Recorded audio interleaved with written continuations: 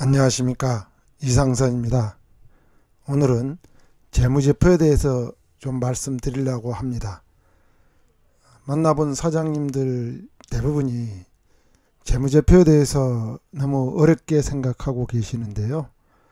재무제표 작성과 흐름 이러한 것들은 전문 영역이기 때문에 회사라든지 회계사 분들이 작성을 하게 되는데요.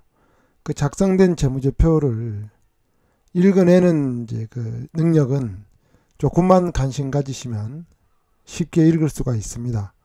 소설책을 집필하라 그러면 대표님들은 소설책 집필하기 상당히 어렵지 않습니까? 근데 소설책을 읽어보라 그러면 아마도 쉽게 읽을 수가 있을 것입니다. 그러니까 재무제표는 작성하는 역량보다는 읽어내는 역량이 대표님께는 더 중요한 것 같습니다. 이 재무제표를 보셔야 사장님께서 사업을 하고 남는 이익금이 얼마인지 또는 사장님께서 그동안 벌어놓은 돈, 자산이 어떤 형태로 어떻게 있는지를 확인할 수가 있습니다. 재무제표만 잘 확인하셔도 돈이 됩니다. 사장님 돈 되는 재무제표 이것만은 꼭 확인하고 계셔야 됩니다.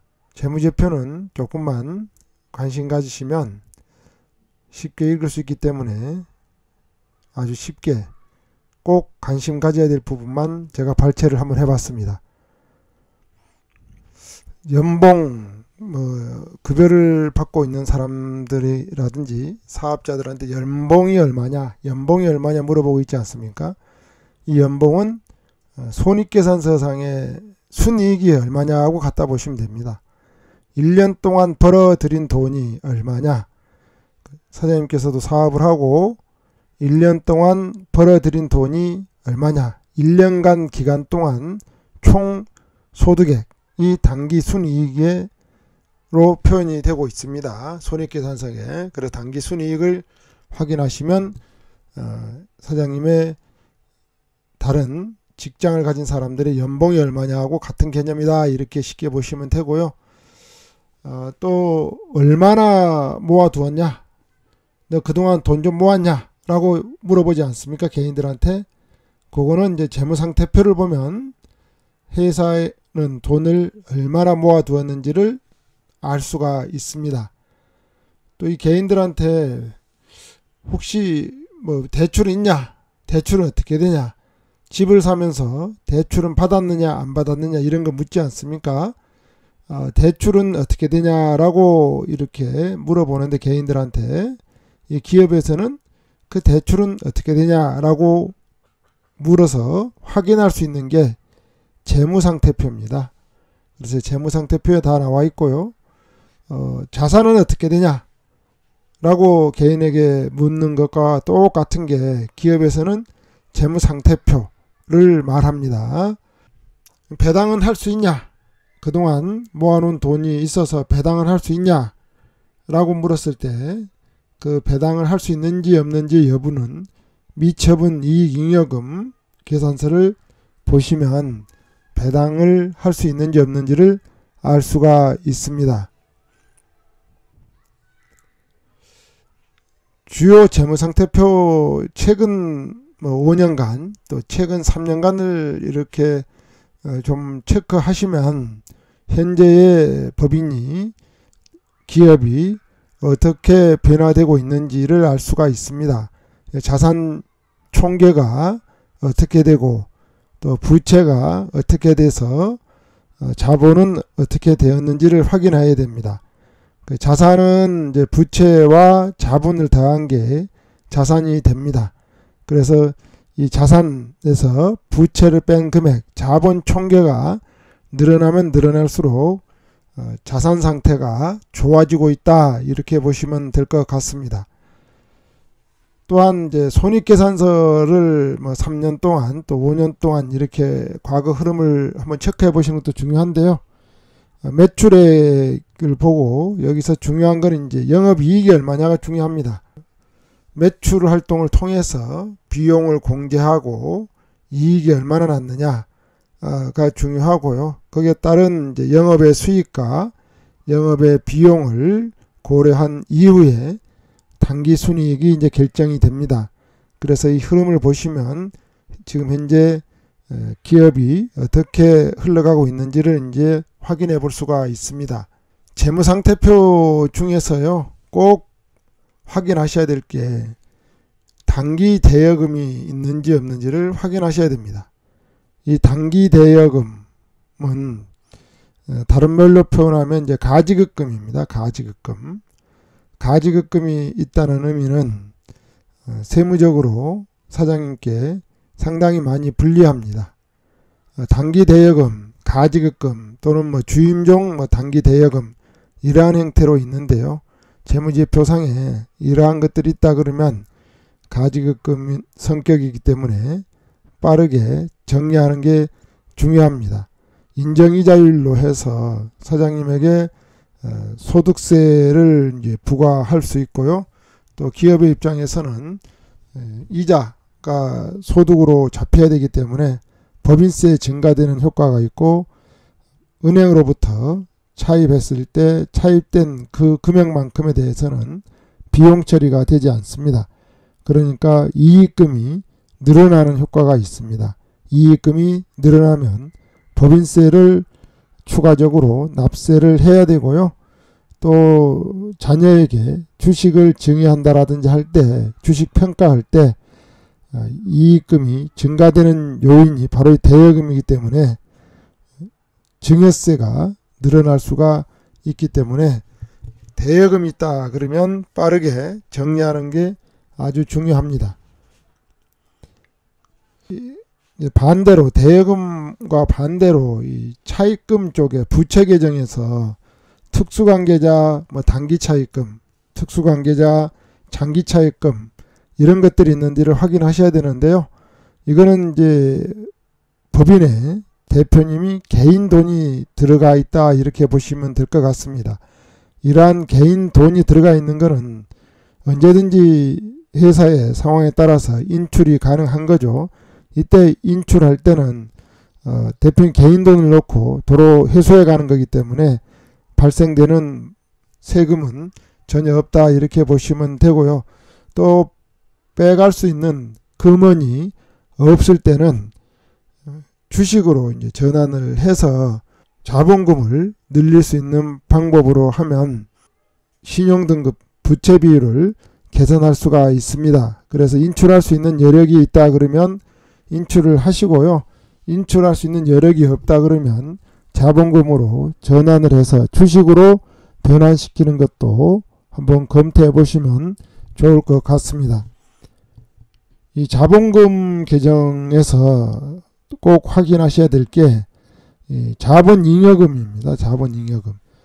아, 잉여금은 영업활동으로 인해서 발생된 이익금으로 형성된 것을 보고 미처분 이익잉여금이라 그러고요. 어, 자본활동으로 인해서 발생된 잉여금을 보고 자본잉여금이라고 부릅니다. 이 자본잉여금은 대표적인 게 주식 발행 초과금이 있습니다. 이 주식 발행 초과금은 불균등하게 증자를 한다라든지 또 현물 출자를 한다라든지 합병, 분할 뭐 이런 활동을 통해서 발생되는 게 자본잉여금 계정 중에 주식 발행 초과금이 발생될 수가 있습니다. 이 주식 발행 초과금은 자본금의 1.5배를 초과하는 금원에 대해서는 배당 형태로 통해서 가지고 나오면 전액 다 비과세입니다. 그래서 이 주식 발행 초과금이 있다 그러면 비과세 한도로 활용을 해서 인출할 수 있는지 여부를 검토해 보시는 게 좋을 것 같습니다. 경우에 따라서는 어, 자본 잉여금이 있다 하더라도 인출할 때 배당세를 납세하셔야 되기 때문에 어, 배당세를 납세 하지 않는 자본 잉여금에 해당되는지를 전문가와 함께 체크해 보시고 꼭 실행하시는 게 상당히 중요합니다. 또 이 자본금을 좀 이제 체크해 보셔야 되는데 자본금이 설립될 때 초기에 뭐 5천만 원, 1억 이렇게 출발하셨다가 점점점 회사를 육성 성장시키려다 보니까 자본금을 확충해야 될 필요성이 있을 때가 있거든요. 그렇게 해서 이 자본금이 24억까지 늘었습니다. 그런데 이익이 이제 많이 나고 이익금이 쌓여있고 이러다 보니까 어, 굳이 이 자본금 24억까지 가져갈 필요가 없는 경우가 있습니다.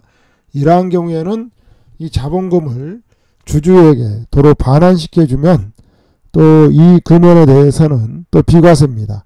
그래서 투자금을 되돌려 주는 성격이기 때문에 이 자본금이 많이 있는 기업들은 자본금을 반환해 주는 형태를 통해서 세금 없이 법인 자산을 개인화할 수 있다 이렇게 보시면 될 것 같습니다.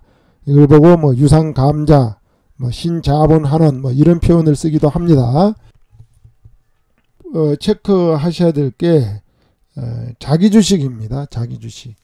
예, 자본 쪽에 보면 자기 주식이 이렇게 마이너스로 이렇게 표시되어 있는데요. 자기 주식을 이제 보유하고 있는 기업들은 주식 평가를 할 때 불리하게 작동이 됩니다. 어, 자기 주식은 회사에서 보유하고 있는 자산입니다. 자산. 그래서 자산 가치를 별도로 평가해서 반영하도록 되어 있습니다. 그래서 주식 가치를 평가할 때 주식 가격을 상승되는 요인이 바로 이 자기 주식입니다. 그래서 이 자기 주식이 있다 그러면 이 자기 주식을 해소할 수 있는 방법을 찾아보는 것도 상당히 중요한 체크 포인트입니다. 또한 가압승계할 때 자기 주식은 사업 무관 자산입니다. 사업 무관 자산에 해당되어서 사전 증여특례 제도라든지 가압상속 공제제도를 활용할 때 일반세율로 적용을 해서 일반세율로 납세를 해야 됩니다. 그래서 자기 주식이 있으면 어, 해소할 수 있는 방법론을 찾아서 해소하는 게 상당히 중요한 전략 중의 하나입니다.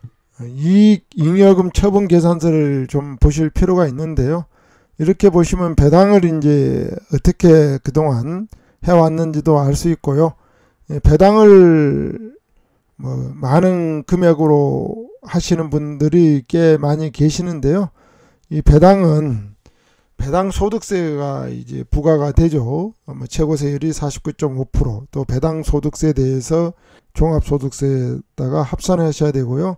또 건강보험료를 산정하는 또 기초재산으로 들어가기 때문에 상당히 높은 세율로 배당 소득세는 부과된다 이렇게 보시면 될 것 같습니다. 배당을 하는 이유는 법인에 유보된 이익금을 개인화하는 작업이죠. 그렇게 똑같이 법인에 유보된 이익금을 개인화할 때 배당 소득세율의 최고 세율이 아닌 낮은 세율 또는 없거나 법인 자금을 인출할 수 있는 방법들이 다양하게 많이 있습니다. 이익 소각이라든지 또 양도 방식으로 하면 양도 소득세를 부과하고요. 이익 소각 외에도 뭐 고가 감자라든지 또 저가 우선주 또 발행 전략이라든지 뭐 여러 전략을 통해서 1종, 2종, 3종 이런 우선 주식을 또 발행해서 어, 이 배당금과 같은 효과를 발휘하면서 법인에 유보된 자금을 인출할 수가 있습니다.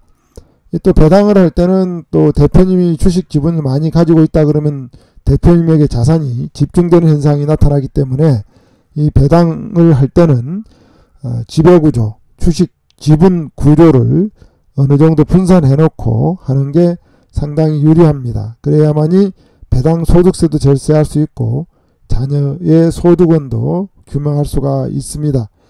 이 미처분 이익잉여금은 바로 배당 재원이고요. 자기 주식 취득하고 할 때 미처분 이익 잉여금이 있어야 자기 주식도 취득할 수 있고요. 자기 주식 취득을 가능해야만이 또 이익 소각이라든지 유상 감자도 가능합니다. 미처분 이익 잉여금이 많이 있으면 또 주식 평가를 할 때 이게 순 자산 가치에 영향을 미쳐서 주식 가치를 끌어올리는 요인으로 작동이 됩니다. 그래서 미처분 이익 잉여금이 많이 있다 그러면 미처분 이익잉여금을 해소하는 게 상당히 중요합니다. 부동산을 가지고 있는 이제 기업들이 있는데요. 유형자산 중에 토지 건물이 어떻게 가지고 있는지를 체크해 보셔야 되고요. 어, 유형자산 부동산을 파악하셔서요.